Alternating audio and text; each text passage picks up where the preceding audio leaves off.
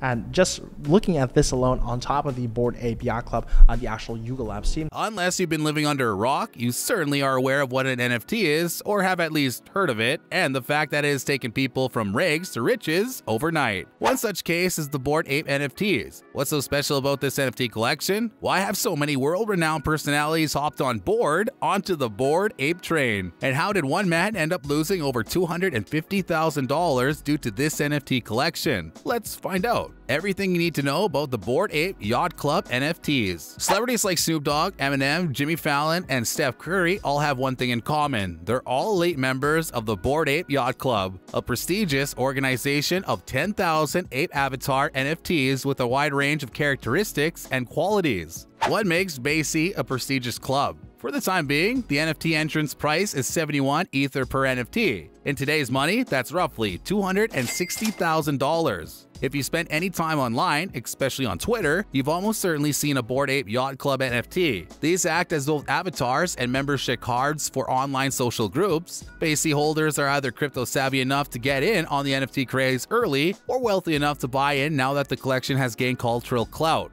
These NFTs were just released in April 2021, and each one cost only 0.08 Ether or around $190 at the time.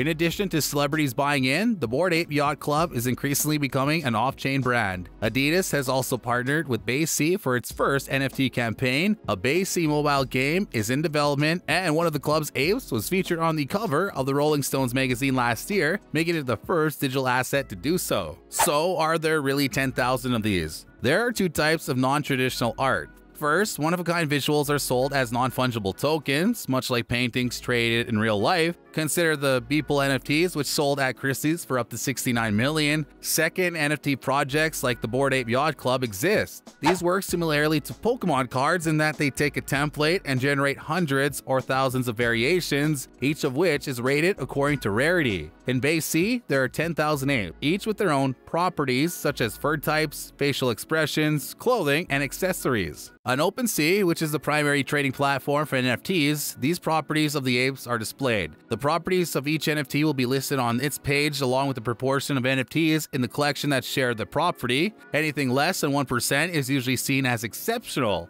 The ape in the collection with the uncommon solid gold fur feature, for example, can be regarded as super rare. This characteristic is found only in 46 out of 10,000 apes, making them extremely valuable. As previously stated, the project's floor price is 71 Ether, which is the price of a common ape. Golden furred apes are rare and hence demand a higher price. Someone recently paid 333 Ether, or 1.36 million, for one of them. An ape with gold fur and laser eyes, both of which are sub 1% traits, sold for a staggering 3 million a couple of months ago, making it one of the higher selling apes from the collection. So, what is it that makes these NFTs so valuable? This is a challenging question to answer. The short answer is that, as with real world art, value is very much in the eye of the one holding the art. So let's begin from the beginning. Four anonymous users named Gargamel, Gordon Goner, Emperor Tomato Ketchup, and No Sass launched these NFTs in April 2021. When they first issued 10,000 of them, it only took 12 hours for them to sell out for $190 each. What makes BAYC or any other NFT collection valuable is tough to pinpoint. It's a combination of three variables in general celebrity and influencer involvement, community strength, and member benefits. The first one is obvious when celebrities own NFTs, it encourages others to do the same. Jimmy Fallon paid $145,000 for a BAYC and used it as his Twitter profile photo. This resulted in a burst of publicity and sales. Then there's the matter of utility. The majority of NFT projects claim to offer some sort of utility, whether it's access to play to earn games or the option to stake an NFT in exchange for cryptocurrency. Another high value collection, CyberKongz, rose to popularity after allowing Kong owners to breed a baby Kong NFT with two Kongs, encouraging many more to join the club. The Bored Ape Yacht Club has done a few things to keep owners interested. The Bored Ape Kennel Club was founded first, allowing owners to adopt a canine NFT with characteristics similar to those of the Bored Apes. Another freebie arrived in August, digital bottles of mutant serum. By mixing their Bored Ape with the serum, owners can create a Mutant Ape NFT. NFTs from the Kennel Club and Mutant Ape are extremely valuable. The Mutant Ape Yacht Club collection has skyrocketed in popularity in recent weeks, with the floor price rising from around 4 Ether in November to nearly 20 Ether, or 65,000 today.